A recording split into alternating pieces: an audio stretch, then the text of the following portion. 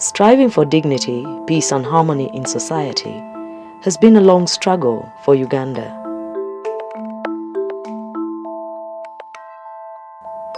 Uganda is a country of diverse cultures and beliefs.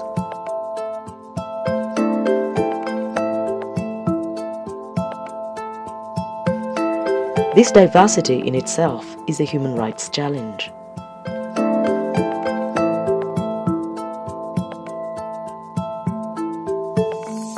Indeed, Uganda has seen its fair share of turbulent times.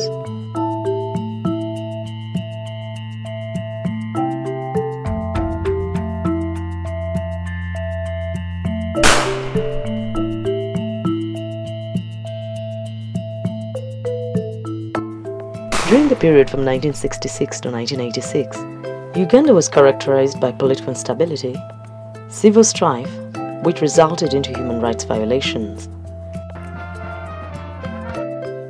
arbitrary arrests, detention without trial, torture, killings and forced disappearances, commonly known as Pandagari, were the order of the day.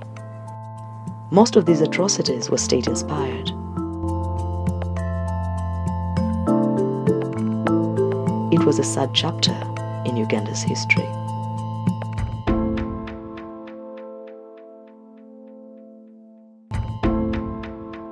In 1986, the National Resistance Army government, led by President Yoweri Museveni, came to power. It started on the road to recovery. Nobody should think that what is happening today or what has, what has been happening in the last few days is a mere change of guards. This is not a mere change of guards. I think this is a fundamental change in the politics of our country. Uganda began a campaign to rebuild itself into a state with policies that favor the respect of rule of law, democracy, access to justice, and in general a country that values the promotion and protection of fundamental human rights. Simply put, fundamental human rights are those rights that accrue to you by the fact that you're a human being. The word fundamental means that these rights are inherent to all human beings and basic and essential for the individual. Protecting and observing these rights was a consensus of all Ugandans. In a bid to bring back the rule of law and respect for human rights, an ad hoc commission known as the Commission of Inquiry into Violations of Human Rights, the Oder Commission, headed by Justice Arthur Oder, was set up. Its mandate was to investigate human rights violations that took place in Uganda from independence to 1986. In one of its recommendations, the Oder Commission recommended for the establishment of a permanent human rights institution that would monitor the human rights situation in the country. In 1995, Uganda Human Rights Commission was birthed by the 1995 Constitution of Uganda. The establishment of an autonomous National Human Rights Commission by the Government of Uganda reflected its commitment to effective implementation of human rights provisions under the Constitution and the regional and international human rights instruments. The Uganda Human Rights Commission was the first of its kind in Uganda and still is. The Uganda Human Rights Commission has a wide range of functions and powers. These were bestowed on it by Articles 52 and 53 of the Constitution and the Uganda Human Rights Act of 1997. It was established to protect and promote human rights and freedoms in Uganda. The Commission can inquire into the actions of any person and institution against whom a complaint has been registered for violation of human rights. We, we, we want to, to, to, to call upon Ugandans to, to, to come to the Commission. Our services are free. We've installed the, through Jeros, uh, total free lines, and we, we urge the public to use us because we, we can reach many places. So let the public you know their right, let them utilize us. The responsibility entrusted to the Commission under the Constitution cannot be adequately fulfilled without close ties with partners. The, the Human Rights Commission Act requires us to work closely with civil society organizations. So we work closely with civil society organizations. Above all, The Constitution requires that the Commission works closely with Parliament. There is a committee in Parliament, the Human Rights Committee, to which we report. Um, but we also report directly to the Speaker. The Commission is independent, and because it's independent, it does not report through any ministry. Our funds are appropriated directly from Parliament. The Constitution provides for the independence of the Commission, meaning that it executes its mandate without influence or direction from anyone, as stipulated in Article 54. For example, uh, issue our annual reports, and uh, those that annual report contains our views on certain agencies of government as far as observance of human rights is concerned. If we were not independent, we would not be as explicit and as open and as forthright as we would want to be. The functions of the Commission include investigating complaints of human rights violations, conducting tribunals, inspecting places of detention, conducting civic education, conducting research on human rights issues, compiling annual human rights reports and periodic reports, monitoring government's compliance with international treaty obligations on human rights, and review of bills before Parliament. Uganda Human Rights Commission has also been instrumental in training the staff of other national human rights commissions in Africa. In fact, as a matter of fact, in I think two years ago, three years ago, 2012, I think it was, we, we, we were given the best, uh, the award of the best human rights commission in Africa when we were in Yamoussoukro in Cote d'Ivoire, or what we call Ivory Coast. Structure of the Uganda Human Rights Commission. At the helm of the Commission is the chairperson. He steers the Commission together with six other commissioners.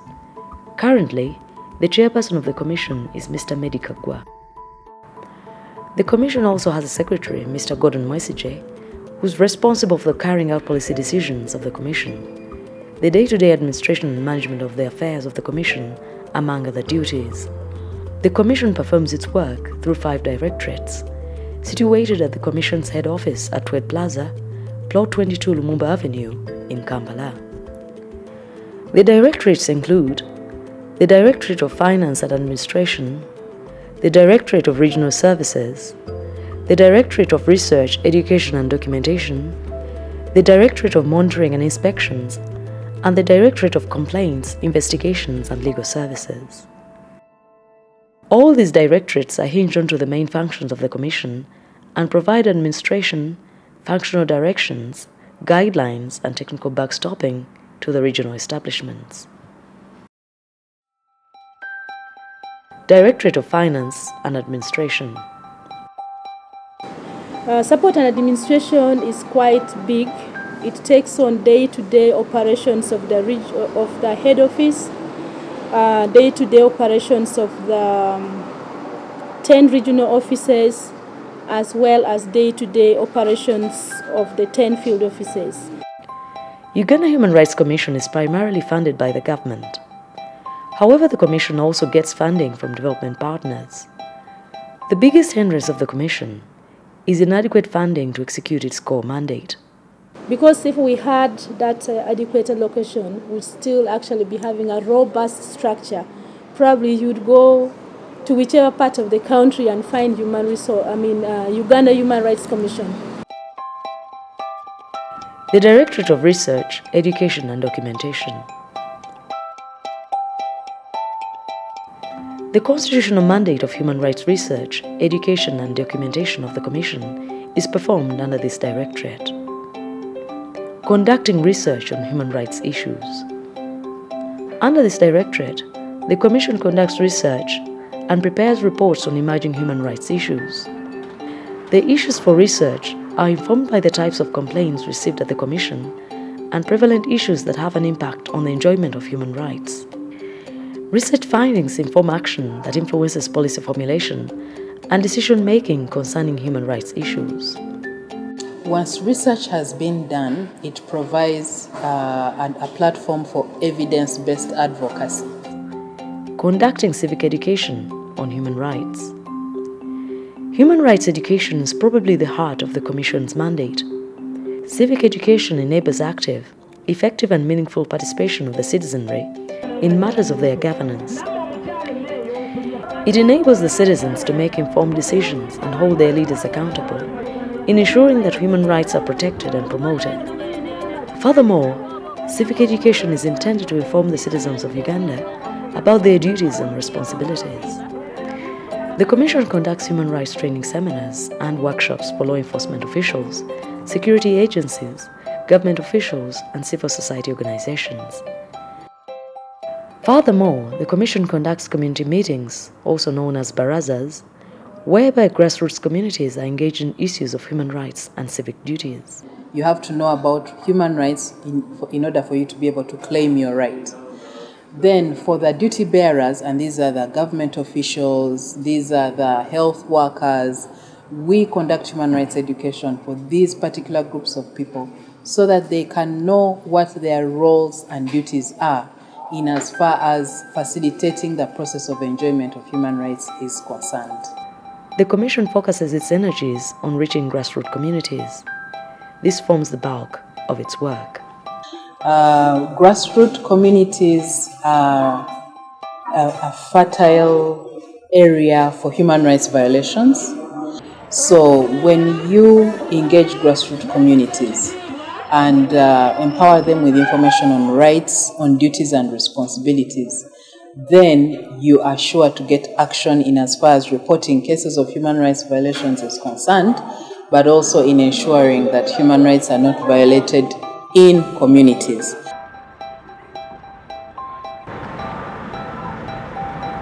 With the recent acquisition of civic education vans, the education program of the Commission is poised to become even more robust. We acquired two new civic education vans to conduct what we call village road shows.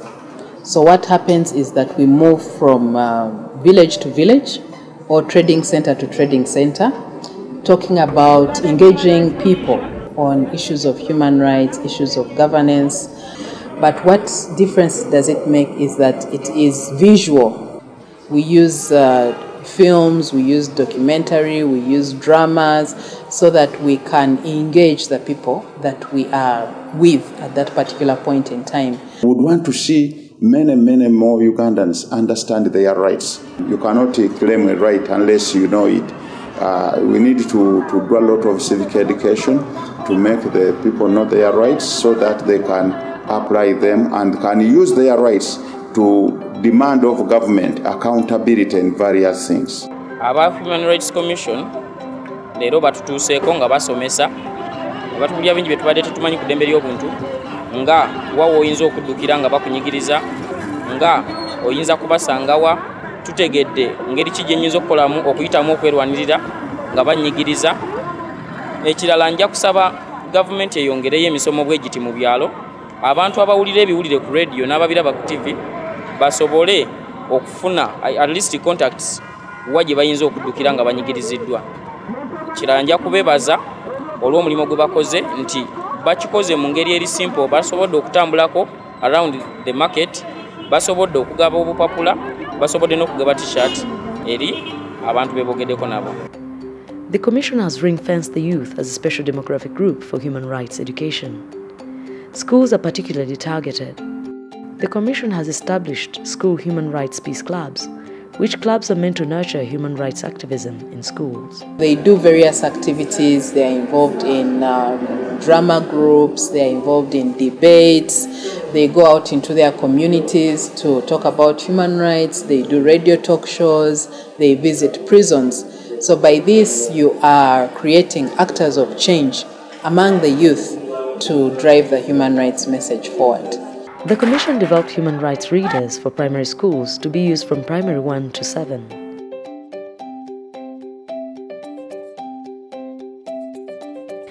In collaboration with its civil society organization partners, the Commission worked with the National Curriculum Development Center to include human rights in the new curriculum for secondary schools. The Commission has also developed and disseminated education and communication materials targeting different audiences. We develop materials um, with uh, thematic human rights issues, posters, uh, brochures, handbooks, uh, we do billboards, we do documentaries so that we package our human rights message appropriately depending on the target group we are focusing on. Documentation of human rights materials. At the Commission, documentation is about warehousing publications and materials about human rights. It's a depository of uh, human rights literature, human rights papers uh, in one place. We have libraries. We have a library here at the head office. We have libraries in our 10 regional offices so that we uh, facilitate the public's access to information when it comes to human rights. The Directorate of Complaints, Investigations and Legal Services. This directorate performs the constitutional mandate of receiving and investigating complaints of violations of rights and freedoms. The Directorate can also initiate its own investigations. The Directorate also offers legal services to the Commission and to those who have suffered human rights abuses. Who may complain?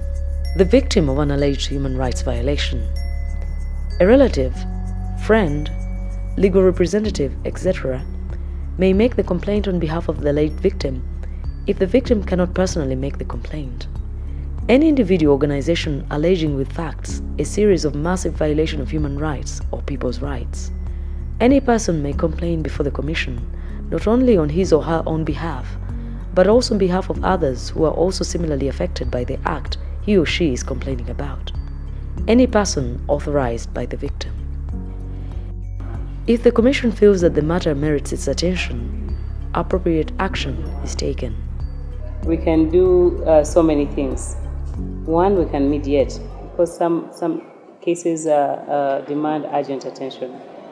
Yeah, issues of um, family disputes, issues of children.